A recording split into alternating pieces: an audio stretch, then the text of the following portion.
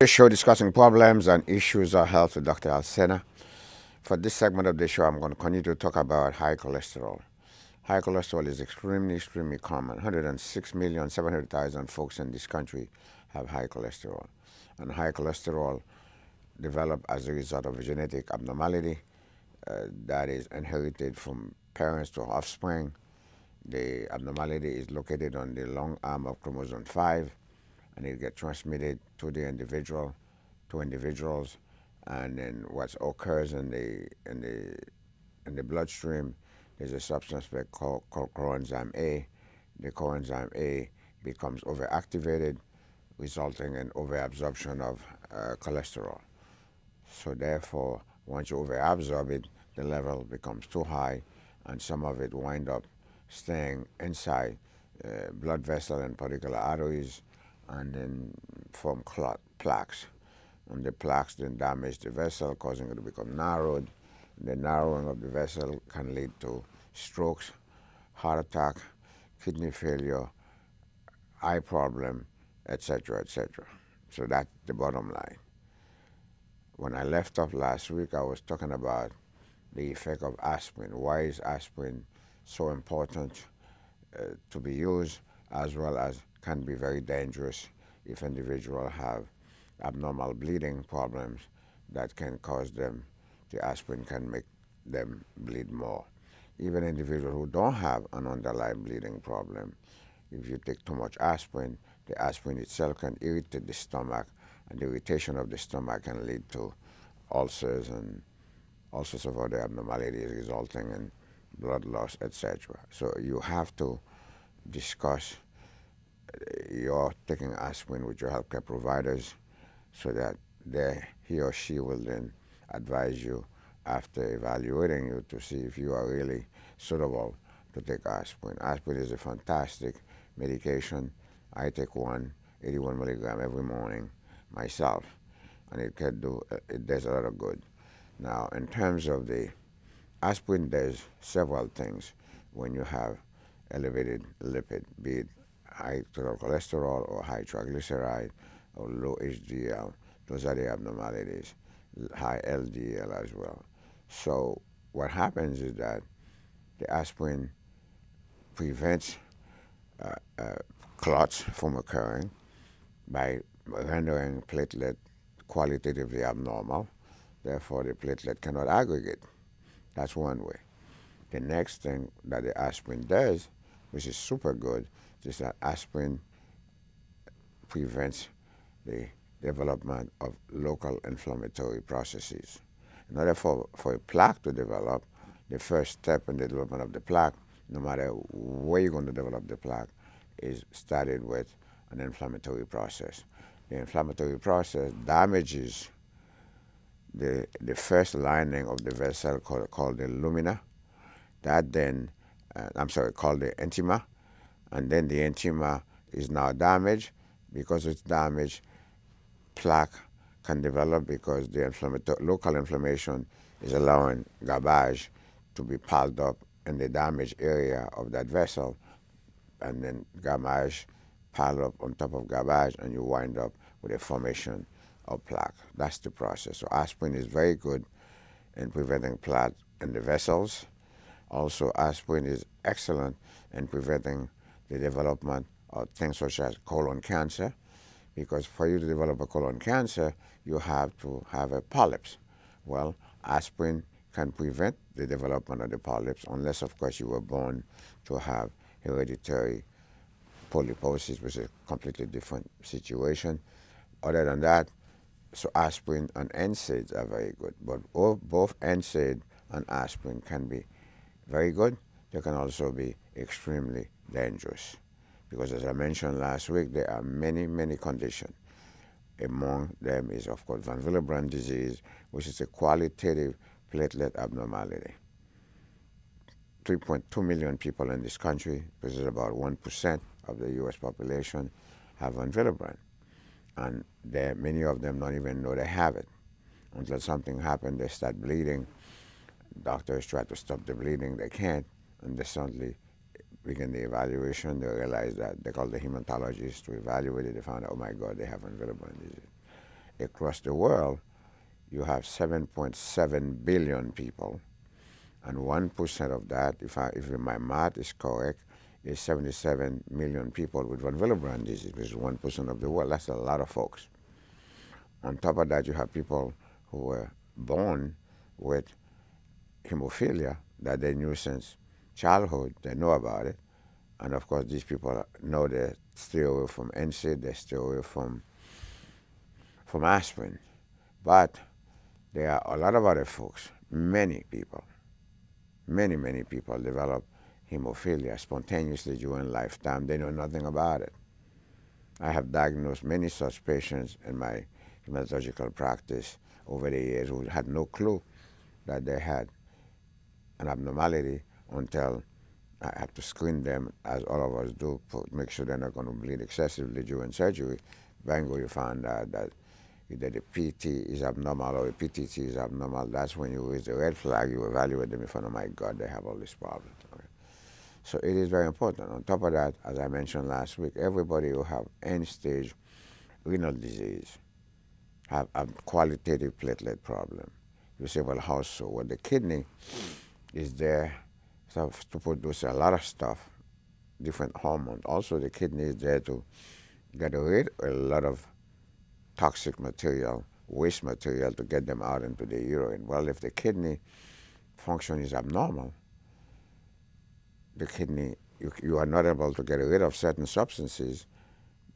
That is the job of the kidney to do. Those substances can pile up on top of the platelet, rendering platelets to become qualitatively abnormal. I mean, I can go on and on and on and give you example of things that that can cause people platelet to become abnormal. People walk around with ITP. They don't know they have ITP unless the platelet was low enough. They bleed spontaneously or stop bruising. That's when they get evaluated. A lot of people are walking around with low platelet. And if your platelet is quantitatively abnormal, and now you're going to take aspirin. Inevitably, when you take aspirin, as I sit here right now talking to you, I have man-made von Willebrand disease because I took an aspirin today. Okay, so this stuff is complicated and it is fascinating, but you have to understand. Let's take a look at the rest of the world. What is the cheapest medication, pills, that people across the world, especially in the developing world, have access to to treat their aches and pain? Aspirin. They just take it. What is the cheapest medication these people use across the world when women are having menstrual cramp? Aspirin. And guess what? 25% in this country and across in the developed world and under the developed world, under, underdeveloped world, 25% of women who are having excessive menstrual bleeding have von Willebrand disease, they know nothing about it. How about that? And these people have fibroids. Yes, fibroid can cause you to, but they also happen to have von Willebrand disease. 25%, that is a very large number. Very high number. And yet, these individuals take the aspirin because the aspirin not only is a pain killer, it's a pain medication, it's also anti-inflammatory medication, and it can prevent you, bring your fever down. And when the uterus, when a person, when a lady is menstruating, the uterus is contracting. The contraction of the uterus causes a vasoconstriction. And I just finished telling you there's a mechanism through which the aspirin can help to prevent that from occurring. So the, for many reasons, the aspirin relieve the pain. And that's besides that, what choice do they have? That's what they have access to. You don't need a prescription to buy aspirin in these countries, and for that matter, up until a few years ago, you also had to have prescription to get NSAID. Even now, there's certain NSAID, you have to have prescription to get them as well. So it is okay for me to sit here and tell you all this stuff, but when you are living in a situation where that is all you have access to and you are having pain, you're having fever, uh, what can you do? That's what you do. You have rheumatoid arthritis, or you have osteoarthritis for that matter, which is even more common than rheumatoid arthritis. That's what they have access to. They don't have the money and they don't have the facility to get all these other fancy medication like we use to relieve pain. They don't have access to Indocin. They, don't they just simply don't have access to these things. So what do they take? They take aspirin. So it's a fantastic medication, but you have to be super careful so that you don't get hurt by it. So therefore then, the aspirin in the setting of high cholesterol is super important because it prevents the formation of plaques. And I just explained to you how that process begins. Super, super important. And then if you do have proven cardiovascular disease, coronary artery disease, aspirin is also very important. If you're having a stroke, you're showing to the hospital, to the emergency room. There are many things we could do. We could give you TPA to dissolve the clot, or we could give you aspirin to dissolve the clot. The, the point I made last week in the last week's show, you don't need to give too much aspirin. It ain't going to do any good because there's only so much you could disaggregate the platelet. 81 milligram already did the job completely. There's no more platelet left to be disaggregated. So why giving the excess aspirin? What it is you're trying to achieve, you're just going to cause bleeding. If you could show me on the blackboard how you're going to give two aspirin, and is it better to disaggregate platelet versus 81 milligram, I'll tell you, you know what? Here's this book. Take it. I'll give you a copy of it for free. okay? It ain't going to happen. You can't just do things because people do it. That's really should not be the standard of practice because when you are called to the carpet, and I don't know of any, any, any, I practice medicine in Westchester. This is my 41st year. And as a man of color, I don't know anybody who have been called to the carpet more than I have because I didn't belong here. So I had to be challenged. The problem is the people who are challenging me, who still challenging me, don't know a third of what I know. So they're wasting their time making themselves miserable, causing themselves to become aggravated, and they're wasting their time. So therefore, when they challenge me, they're just wasting their time. I'm not perfect, but when it comes to these folks, forget about it. I feel sorry for them. I mean, it is sad to say that. How do you feel sorry for somebody who's trying to hurt you? I do because I'm a God child. God has been so kind to me so kind to me. So therefore, I have a responsibility for the rest of my life to continue to be kind to people, even those who did everything nasty and dirty and frankly borderline and criminal to me. I still pray for them. I still do. Because that's the way God created me and that's the way I am. So therefore then, cholesterol is a very important substance but it can also a very damaging substance. You say, well, how can something be damaging to the body and yet extremely important as well? Well, we wouldn't be adults, or we wouldn't frankly be born were it not for the help of cholesterol. Well, you say, how so? Well, because in order for us human beings to be born, to be to be able to grow in our mother's womb, to have grown in our mother's womb, we needed hormone different types of hormone has to work together so that we could develop properly. Well, you say, well, what relationship does cholesterol have with hormone? A hundred percent relationship, because all hormone, regardless what it is, the first step in the formation of that hormone is the cholesterol ring. That's right. It is the cholesterol ring that you attach to it different others chemical substances that form one hormone, another hormone, and so on and so forth. So we can't function. How are you going to, where are you going to get the, the estrogen from? Where are you going to get the thyroid hormone from to grow, to have grown in our mother's womb if we were in for cholesterol? However, it is when the cholesterol is elevated, it's got the problem. But all of us need cholesterol because all of us, men or women, infant, growing children, all of us need hormone in order to grow. A man couldn't function as a man, as a male without testosterone. Well, testosterone couldn't be without the cholesterol ring. Estrogen couldn't be without the cholesterol and so women couldn't be women, and so on and so forth. So uh, you, I'm probably sure you never either heard of these things before, but th this is this is this is the truth. So it is only when the cholesterol is too high that's the problem. And the too high cholesterol, as I mentioned, is an is a hereditary abnormality inherited from parents to offspring. It is located in the long arm of chromosome 5. That's the abnormality. And then that then causes the the enzyme called coenzyme A. Let me give you the actual names of it so that you, you, you understand the name of it. It is hydroxymethyl glutaryl CoA reductase. And I call it coenzyme A to shorten it. And that's, that's the substance that becomes overactivated that causes to overabsorb cholesterol. So when we eat cholesterol in our food, it gets absorbed to the stomach first and then the small bowel, get into the bloodstream. Okay, there it's going to do its thing. It stays in the circulation. The idea is to use some of it for our benefit, the rest of it to get rid of it.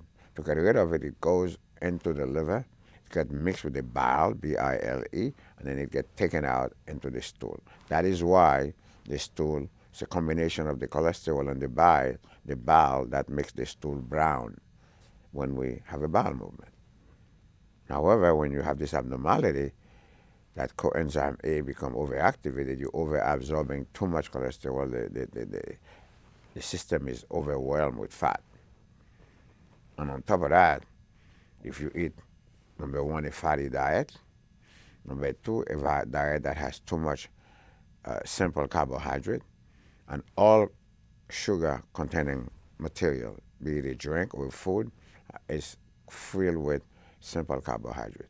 When you're taking the simple carbohydrate, by necessity, some of it is turned into immediate energy for us to survive. The rest of it is, is taken to the liver. The liver breaks it down. Some of it is turned into fat. That fat goes into the soft tissues, and the individual in question become overweight or obese, and the rest, unfortunately, sits inside the liver the liver cannot distribute all of it. It's too much of it. That then damages the liver. That's right. That is why the number one cause of cirrhosis of the liver throughout the world happens to be obesity. That's right. Because the excess fat sits inside that liver, damages the liver. Because everything that sits anywhere in the body must degrade as it is degrading, it's releasing free radical. The free radical causes a local inflammation. That local inflammation begins the process of inflammation inside the liver or any other tissue for that matter. But I'm talking about the liver. That begins the process of cirrhosis. There are many, many things that can cause cirrhosis of the liver, from hepatitis to alcohol abuse to iron overload, excess iron, a whole bunch of other stuff. But obesity happens to be number one. And which country of all developed countries in the world has more obese people than anywhere? The United States of America. So I mentioned last week how we go about treating. First of all, uh, uh, uh, uh, you have to understand diet does not cause high cholesterol. It just makes it worse. So it's very important to eat a diet that has low simple carb, low fat, and low salt. Low simple carbohydrate, low salt, low fat. Those are the key to get to not to get fat and obese or whatever you want to call it. However, a good diet has a lot of complex carbohydrate, a lot of protein in it. Okay? And all complex carbohydrates are good for you. It's good because it satisfies hunger because you're hungry. That's why you're eating. And it allows you to have immediate short-term energy to, to do your, to survive. That's all it does. It cannot be broken down into fat. And I mentioned, give you example of, some, of complex carbohydrate, pasta, spaghetti, plantain, yam, potatoes, all these things are good for you. They're not going to get you fat. They can't. There's no way they can because they cannot be broken down to the finite part into simple sugar. They cannot. Only simple sugar can be broken into fat to get you into trouble. Now, I'm sitting here. It's easy for me to talk because that's what I choose to do, and I'm a medical educator. But I happen to know the reality of it. Folks eat what they can afford. Folks eat what they have access to, like I used to.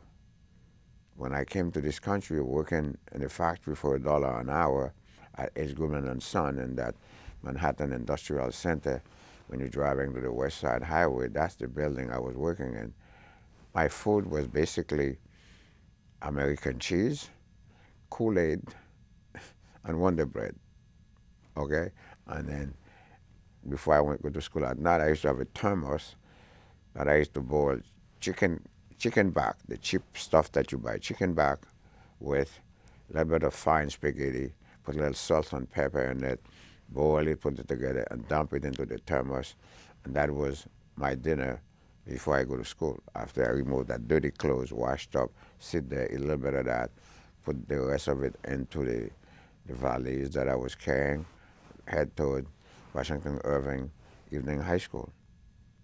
Okay, so, and believe me, believe me, I know what poverty is. It's nothing to be proud of, it's nothing to be ashamed of either. But no one, at the time that I grew up, were poorer than I was. So when I talk about these things, I'm not pontificating. I experienced poverty, the worst time you can possibly imagine. So therefore, then, I know that folks eat what they can afford. You know, I'm not here to badmouth anybody's food because this is a free enterprise system. People, you know, I'm a capitalist myself. People sell the product and people eat the product. They eat what they can afford. People are working two, three jobs. They still cannot afford anything better, like I used to. When I went to college, I worked three jobs. So when I went to medical school, things were so bad for me the first couple of years of medical school. You can't make this up. The first two years of medical school, as competitive as my class was, I, I worked. That's right. The first two years of medical school, I worked at Jacobi Hospital in the blood bank, and I worked at the Einstein laboratory, the Einstein Hospital laboratory. That's right. And I had to compete. Because my class, 20% of my class were MD PhDs, okay? You can get 90% on an exam in my class and fail because it was a curve, okay? And I had to survive that. So nowadays when young people say, listen, I have compassion for you, I'm empathetic to your situation, but don't give me excuses because I've been through that. okay, so in any event, uh, uh, uh, all I can say to you is that when you are taking those medication, the Lipitor, the simvastatin, and all these other medications that the doctors prescribe to you, make sure you take them at night because the way God created the system, our fat level is highest at night and also is highest after we eat our supper. So therefore, if you take this pill, as expensive that they are, you take them during the daytime, or in the morning you're wasting your time. It's not going to work because they don't have enough fat circulating to block. So if you understand that, and I'm sure your healthcare practitioner explains that to you, that is the reason why it's best to take your medication for cholesterol and triglyceride half hour after dinner, or put the little bottle on your bedside table so that before you go to sleep at night, you take the pill and get some water and drink it. Then you're doing yourself so good. If you take it during the daytime, you're wasting your time. When we are giving those pills to an individual, we check their lipid profile every two months, and we also check the liver function test every two months. because some of these medication can cause the liver function test sometimes to become elevated. You don't necessarily have to stop them. You have to cut them down, cut the dose down if that happens. Another side effect, sometimes you could have muscle cramps. Yeah, they can call muscle cramp in some instances. So when they do, if they do, then we check the the creatinine phosphokinase, the total CPK, the different types of CPK. We tell the total CPK, and if the CPK is elevated, then we have to back off from the medication because elevated CPK can damage someone's kidney. So that's what we do. We, we don't check the CPK every two months. We just check the LFTs and the lipid profile. That's what we do every two months for somebody who's taken this medication for lipid abnormality. We must do that. And if the person complains about feeling cramps and aches and stuff in the leg, then at that time we begin to worry that they may have muscle damage because of this medication. So then we check the total CPK. If it is elevated, then we take action to change the medication or do other stuff. But if it is not that, then of course there are many, many things that can cause somebody to have cramps and paresthesias of stuff in the leg and so on and so forth. So then, so that's what we do. So now you understand, and of course a diet is key. It is my role to tell you about diet, even though I know many people simply cannot afford the kind of diet that I'm talking about.